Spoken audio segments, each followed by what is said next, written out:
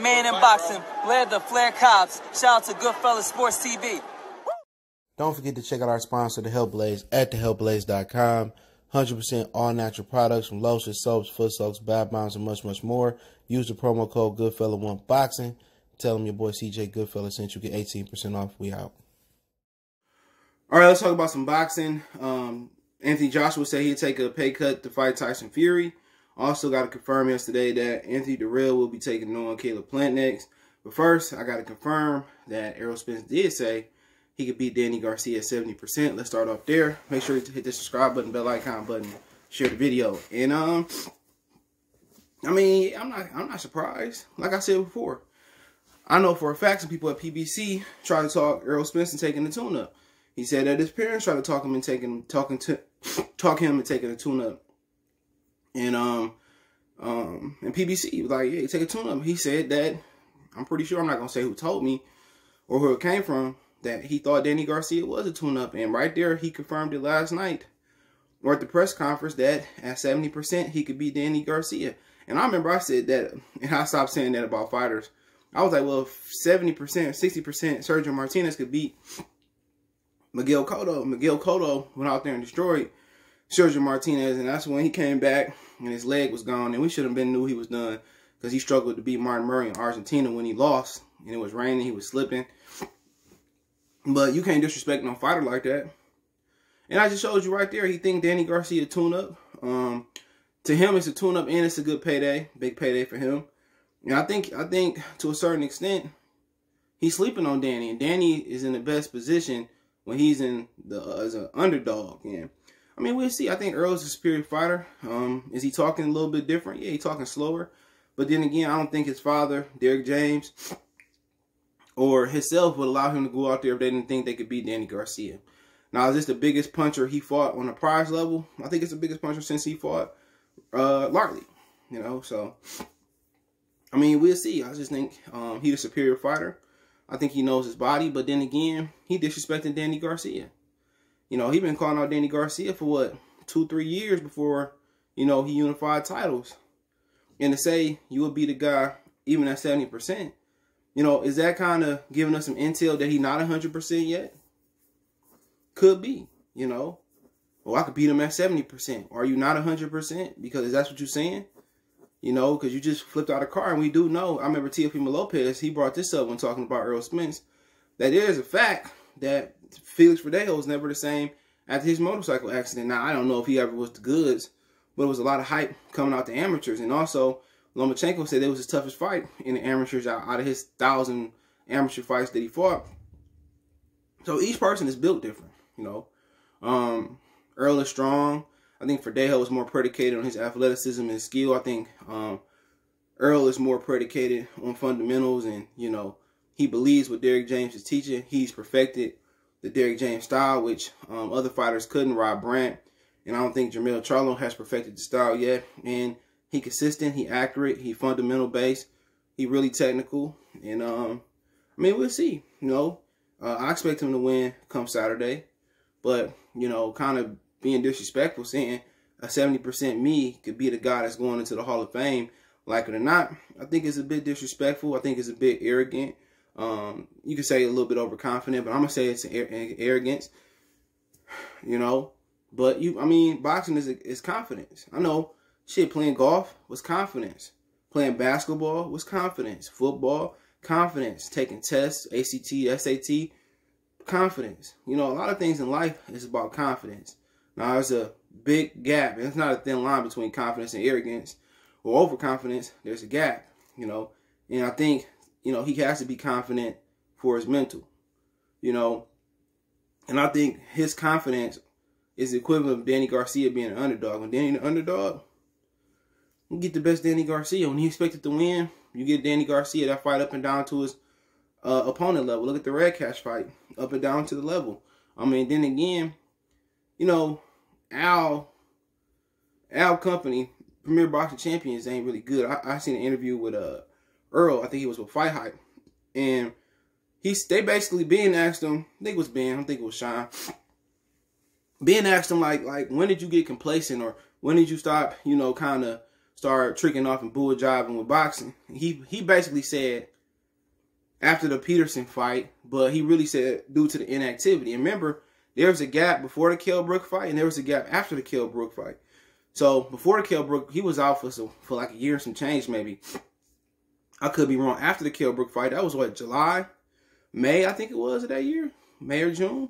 So then you talking about let's just say June, July, August, September, October, November, December. He was out for another seven months. Then he fought Lamont Peterson towards the end of January, right? And then they brought him back quick, about six months to fight Ocampo in June. Um, uh, but after that, he was out from June to next March. So yeah, the inactivity period. A lot of people can't stand the gym. You know, you know, you got all that money, you vacationing, you drinking, you partying, or you eating. You know, Duran thing was he eat himself. You know, out of fights. You know, you know, didn't have to turn around, cut weight, and get knocked out by Tommy Hearns. But his inactivity was due to was his biggest downfall, and Al not keeping him active. Because after the Kell Brook fight, he was supposed to fight Luis Collazo. Collazo ended up hurting his arm. I think they tried to make the Sean fight. Sean didn't want to fight. I um, think he had an issue. He was supposed to fight Dulorme that year. I could be wrong. Um, so inactivity is really what's killing like Danny, Sean, Keith.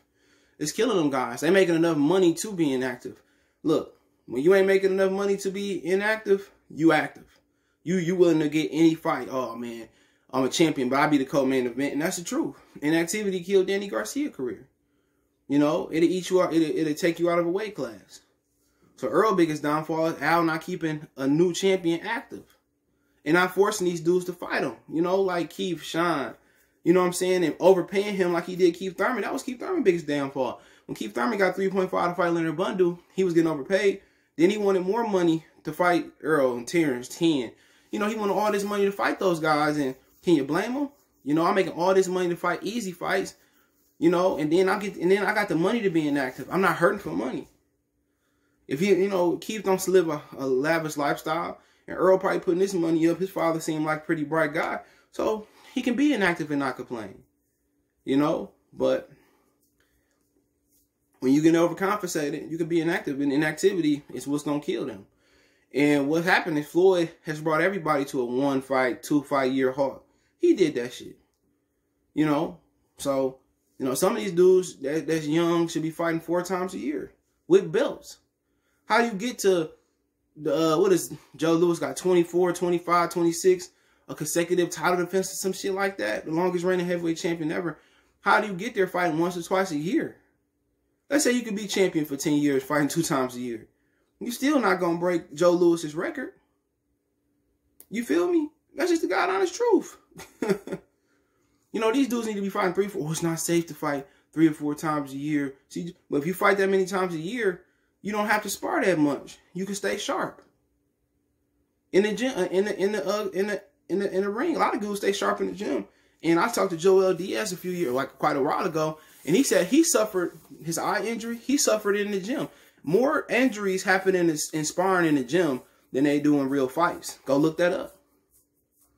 You know, sparring is tougher than the fight because you're sparring 120, 90 rounds a camp, depending on how long your camp is. So people need to understand that. But inactivity has killed both of these guys' careers.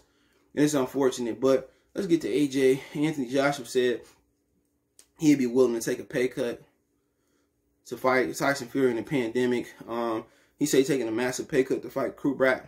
I call him Brosworth Pulev, Kubrat Pulev, which Bob Arum seemed to think Pulev got a chance. I don't. I think Joshua is a couple notches above him. But, I mean, yeah. I mean, I mean, they could wait to make that fight because he got to fight Usyk. By the time he fight Usyk, pretty sure the vaccine will get to the population because it comes out in December. I got a video coming out about that. I might drop it on 2.0, so check out Goodfellas Sports TV 2.0. In December, they pose to distribute it. All right, um, to the really sick and the old people. Then the kids get it, and then.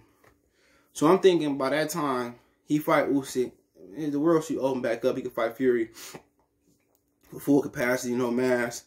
Um, so I mean, yeah, I like the way Anthony Joshua talk, but is he gonna walk the walk? Is Tyson Fury gonna oblige and take a pay cut? It just feel better. They both he Fury will fight Wilder again, beat him up. Um, Joshua fight um Pulev and then Usyk, and then they get that money, and then everybody be good. The managers, the trainers, and everybody. And I ran into uh, Sugar Hill last night at Lou's Deli. That's crazy because we was gonna stop at Royals on Six Miles, because I ain't never been in that one. And I was like, man, I forgot. I was driving down Seven Mile. I get in there and I see that crunk cat, and you know, he basically said ain't nobody gonna whoop Fury. But um, he probably right. I mean, be interesting to see him and Joshua fight. I think I fire I favor Tyson Fury, but um, you know, it's good to see Joshua want to take a pay cut for UK supremacy. And it's just interna- international supremacy, you know what I'm saying? Um, we got some young guys who thought the boys was going to be that. He still can't be that.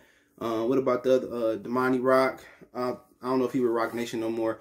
You got another kid, Al, just signed from Philly. That's that light heavyweight. That's going to be heavyweight. And remember, Evander started at light heavyweight, couple fights there, went to cruiserweight, became undisputed, and was probably top 10, top 12 heavyweight of all time, depending on who you ask. So, I mean, it's a fight that a lot of people looking forward to, but um, hopefully it happened. Tomorrow's not promising. I think we take that for granted.